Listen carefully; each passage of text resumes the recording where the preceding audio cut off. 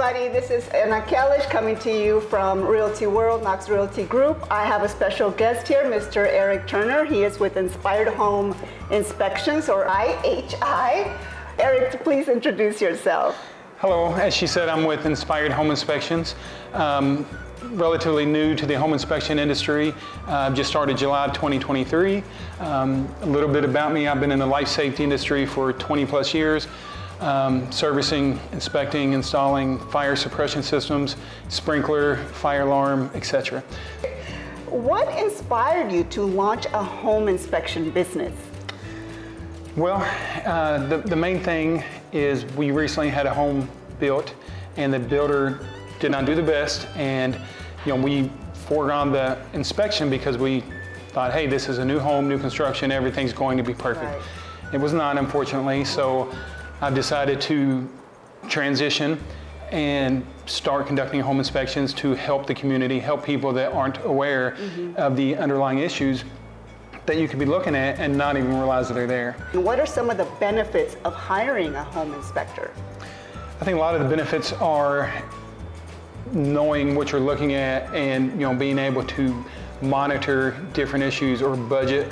You know if your if your AC unit or furnace or water heater you know is at or past its life expectancy, you know it just, it just gives the buyer that you know option. Definitely, I think that home inspections are essential, right? 100%, yeah. So that the homeowner and even the seller, I personally, if I were going to sell my home, I would like to know, hey, what, what can I do and be proactive before I even put my house on the market? For sure, yeah. In order to not sell anybody a lemon.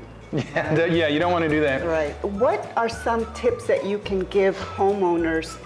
Let's say, for example, I'm looking to, for example, the house I'm in now, I'm probably not, that's not going to be my forever home, Right. and, and someday maybe putting it on the market. But what are some things that I can do now to keep the house in good shape? Preventative maintenance is, is big, whether it's monthly, annual maintenance, you know, making sure you change your air filters on a regular Oh, basis. okay. Um, keeping your gutters clean so the water is moving away from the house. Um, if it's wood or, you know, making sure the paint, you know, or stain is up to date, Mm-hmm. Okay. things like that, just preventative maintenance. Okay, so big just a one. little bit. Yeah, a little bit goes a long way, Goes a long way. Okay, that's good to know. Tell me about your experience when buying a home. Uh, meaning more on the real estate side. Did you have a real estate agent? Uh, we did, yes. We, so we, we had a real estate agent. Um, she was very helpful, helpful in you know finding a, a location that my wife and I wanted to move in, maybe or, or may, you know may not be our forever home. And she just educated us a lot on the things we um, needed to do.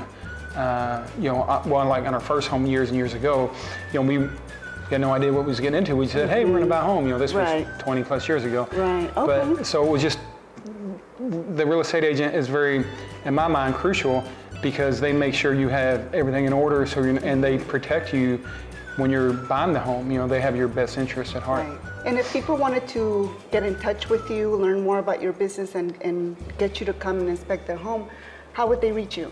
Um, you can reach me via email at eric at ihi.homes, H-O-M-E-S, or my website, www.ihi.homes um, would be the best two ways. Eric, thank you so much for making Thank the you very to come much. here with Yeah. me.